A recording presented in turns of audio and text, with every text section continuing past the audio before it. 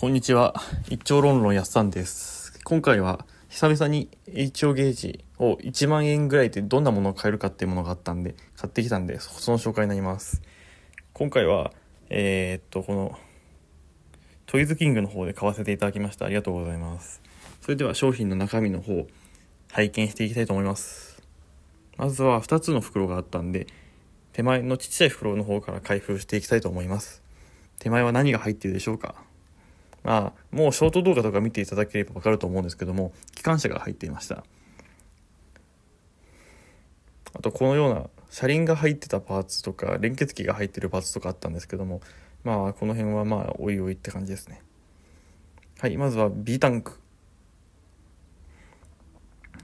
どこの車両でどこの製品か分かんなかったんですけども、2号機って書いてある製品でして、まあ、コッペルなんじゃないかなって思いますね。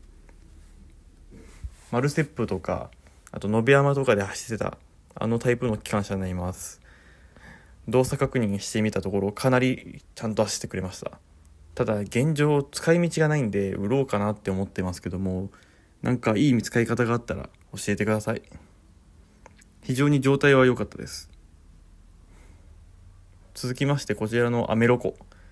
えーっと、MW2 だっけな？そういう名前の機関車だそうで、おそらくリマの製品だと思います。なんとこのタイプの機関車はすごく、あのー、上あの細かく作られてるのはやっぱり HO ゲージらしいんですけども、結構作りが簡単なんで簡単に直せそうな感じで良かったですね。まあめんどくさかったんで、ちょっと直して、それで終わりって感じにしちゃったんですけどね。で、この機関車はまあ、ライトもつきますし、テールライトもつくという感じで、もし海外機関車に興味があるよって方は、こういうリマの製品買ってみると、結構趣味の幅が広がるんじゃないかなと思います。はい。うん、手すりがね、全部、これは真鍮かなプラスチックがね、上部の建物とかはプラスチックで、台枠とかは真鍮なんで、バランスの取れた製品となっています。キャブは外れます。が、外すとやばそうだったんで、外しませんでした。キャブにはナンバープレートがついてて DB68 って書いてあってあの日立って書いてありますけどももちろんそんなことはありません。日本風にして遊んでたんでしょうね。でもなんだか日本にもこんなタイプの機関車あったよなと思ったんですけど DD42 とかその辺の昔の試作機関車にそういうのがありましたね。では最後に本命であるこっちのでかい方を開けていきたいと思います。はいさっきまでのは全部、えー外国の車両でしたけどもここからは国産の電車と客車になります。まずこちらクハ55になります。ロコモデルかなと思っています。台車はを履いていて、まあ、若干この台車が欲しくて買ったようなもんですね。ここにいつ作ったか書いてありますね。約45年前に作ったということなんで、まあ、私よりもだいぶ先輩ですね。でも、まあ、だいぶ状態はいい方で大きなひびや破損はなくちょっと色がかすれてるって感じです。部品もみんな揃ってます。しちゃんと動きます。ただねテールライトがなくなってますね。でこちらが対になるクモハ41になります。こちらはテールライトが全部揃ってますね。モーターがついていてまた所属表記が書いてあるんですけども西原ってちょっと聞いたことないですね。おそらく前の所有者が西原さんだったことがこれで判明します。後ろにもちゃんと制作した時期と形式が書いてありますね。でも若干こちらの方が作ったのは遅いみたいですね。クハが先に竣工したようです。まあ非常にこちらも状態が良く部分部分は別体化されていてリアルですごいもったいないんですけどもちょっと改造の値段にしようと思ってます。でこちらは関東の人だったらおなじみのクモハ40になります。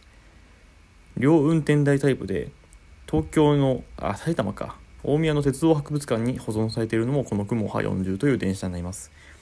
晩年は国分寺の方を走っていたあの競馬場線ですとかあとは青梅線の増結車両に充当されていたのが非常に懐かしいですね。こちらはモーターがついてません。でこちらも竣工が書いてあって9月で一度改造されてるみたいですね。こういうのもなかなか楽しいですよね。行き先は京都西明石なのであの京阪観光船になってますけども実際のところはどうなんでしょうか。でこちらはフォローがついてたとかあったんでフォローはどこかに行ってしまったみたいですね。で最後に10系客車の方を開けていきたいと思います。こちらは中村精密という蒸気機関車とかをいっぱい生産していたメーカーになります。中村精密は、まあ、もちろん蒸気機関車を生産するわけですから客車もキットで作っていました。とてもグリーンマックスのキットと似てましてあの下の機械 下の床下言えなかったな。下の床下機器がダイキャストでボディがプラスチックという風になっています。ただ隣に置いてある克実のあの那覇よりもだいぶこちらの方が重いのでダイキャストって結構重いんだなっていうのを痛感させられます。でこちらがおそらく克実の那覇11か。うん。ですね。那覇府に見えるんですけども車掌室はございません。でまあこんな感じであの全部金属製いわゆる真鍮で作られているのがこちらの那覇11の多分克実製造もあります。ただカプラが残念ながら片方なくてもう片方は KD カブラこちらがついていました。非常に嬉しいです。ホロは全部可愛いのゴム系のホロがついてたんですごくブニョブニョして気持ち悪いんですけども楽しいですね。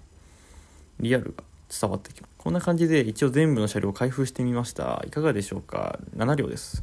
まあなんとも癖のあるコンビニですけどもまあ基本的には雲波41とモハ40が中心となりますので今後何かに使っていくと思うのでよろしく。